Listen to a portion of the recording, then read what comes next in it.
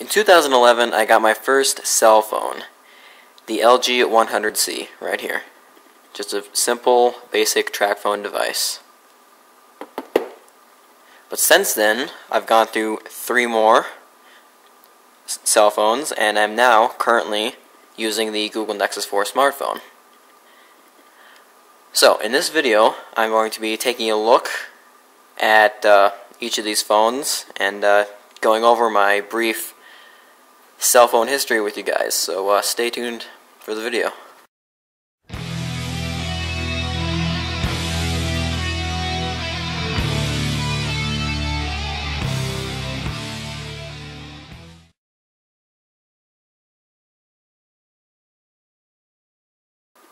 So in 2011, I really wanted a smartphone.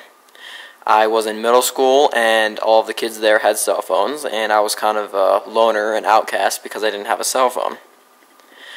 So I went up to my mom and I asked her, Can I have a cell phone? She said yes, and she went to Walmart and picked up the cheapest phone that they had, which is right here the LG 100C. Of course, at the time, I didn't know what kinds of, uh, cell phones were out there. I didn't know how good they were, so I thought that this was a really, you know, high quality cell phone at the time. Obviously, that's not the case, but anyway, I still really like this cell phone. It was, at the time, it served all my needs. I could text on it, I could call on it, there were even a few games. Um, it was just simple TracFone, so the bill was cheap. And overall, this is just a really good phone. Um, but uh, I did eventually got get tired of it, so um, I got a new phone uh, because it was just very difficult to text using this numeric keypad and just overall I just got tired of the phone. So then I got this, the LG 231C. So this phone was actually handed down for me. This is actually a hand-me-down phone. And uh, it was my first and only flip phone because at the time that I got this, flip phone was kind of all the rage. And um, so yeah, I thought this was even cooler than my previous phone because oh, look at that, it flips open. Wow, I was pretty amazed at the time. Again, this was still in middle school. And uh, texting was so very hard with this numeric keypad, and uh, I did like that the screen was bigger and it had more features. Um, but I didn't have this phone for long and I got tired of it again. So, got rid of this phone and moved on to my first real smartphone. And uh, I say smartphone very lightly there because this is technically not a smartphone, but uh, at the time it seemed like a smartphone. So I was just at Walmart, just browsing through the phone section one day, and I came across this phone, the LG 800G. And uh, I said to myself, I have to have that phone. It's a touchscreen. Look at that. Isn't that cool? Um, so I got it. This was my first really expensive phone. I think I paid $50 for this out of my own pocket. And uh, yeah, I used this phone for the longest. It is longer than I've used any other phone. Um, I enjoyed it. It was relatively easy to text on, call on. It had a touchscreen. It had a quality, fairly quality camera.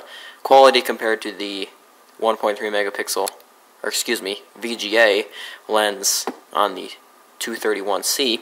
This had a 2 megapixel camera, so I was taking pictures left and right. And uh, yeah, so I used this phone for two years. And then LG and TracFone came out with this, the LG 840G.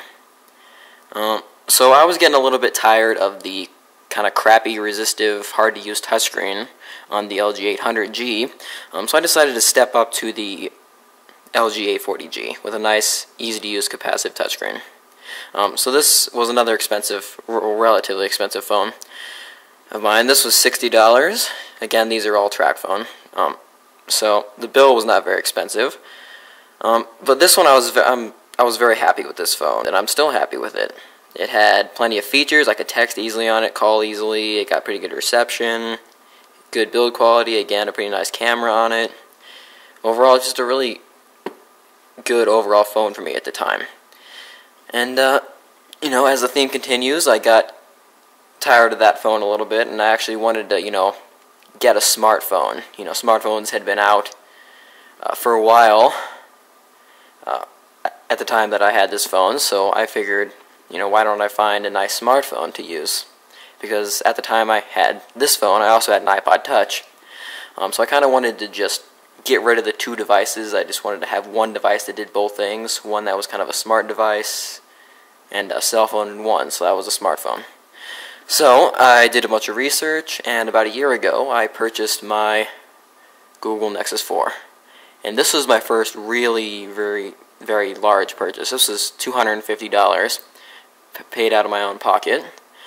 And uh, I had a smartphone, and I've been using this smartphone ever since on Straight Talk, since this phone is unlocked. And I've enjoyed this. I mean, compared to these four phones, this has a ton of features, and it's a smartphone, which is something that, you know, I'd wanted for a while when I had these phones. So yeah, that's my relatively brief phone history uh, from the LG 100C to the LG 231C, LG 800G, LG 840G, all TracFones to finally the LG Google Nexus 4, which was which is on Straight Talk. Oh hey, that's kind of weird. I noticed that this all the all five of these phones are all LG phones. I didn't do that on purpose. I guess it's just kind of how things ended up. Uh, but anyway, that's my brief phone history. Uh, if you have any questions, uh, just leave them in the comments. And uh, check out my website, uh, mobiletechnologyreviews.weebly.com. You can read uh, my written reviews of these phones, and uh, you know check out various things on my website. So head on over there. And thank you very much for watching. I appreciate it. Thank you for putting up with me. And uh, catch you guys. See you in the next one.